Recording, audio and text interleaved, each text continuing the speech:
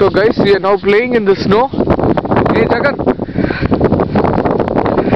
Freitag I'm making a video.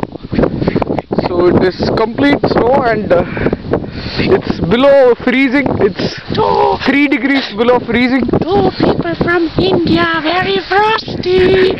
Yeah, from Freitag it's really cold guys and I was just asking if I could wear the normal jacket and uh, now I understand why I had to wear this special jacket. From Freitag can we sit and eat here? This place is for eating. Ah. So guys, it's really cold. I cannot hold the camera move for longer. I'm just switching off this video. Ah, let us resume later.